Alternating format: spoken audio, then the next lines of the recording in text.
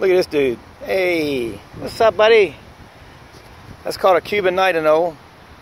Pretty cool. Pretty cool little dude. Got a big old mouth. Pretty cool. I'm gonna put him back in this tree. Come on.